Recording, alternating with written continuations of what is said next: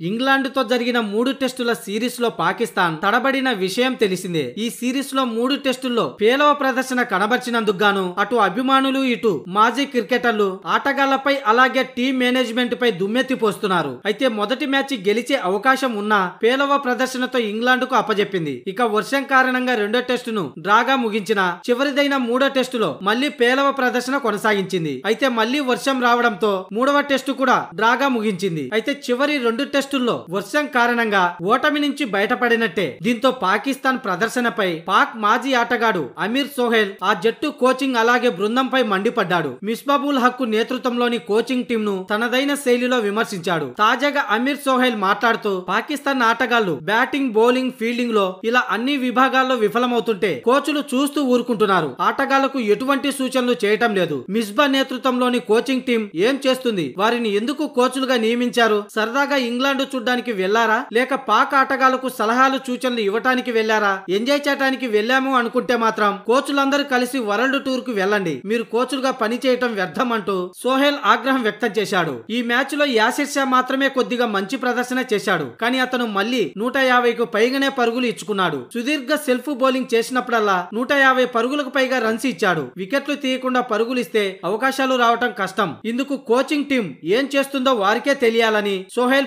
పాల్గొన్నాడు పాకిస్తాన్ జట్టుకు మిస్బాబుల్ హక్కు ప్రధాన కోచ్గా కొనసాగుతుండటంతో పాటు పాకిస్తాన్ జాతీయ చీఫ్ సెలెక్టర్గా కూడా ఉన్నాడు. బౌలింగ్ కోచ్గా వకారిని ఫీల్డింగ్ కోచ్ ఉన్నారు.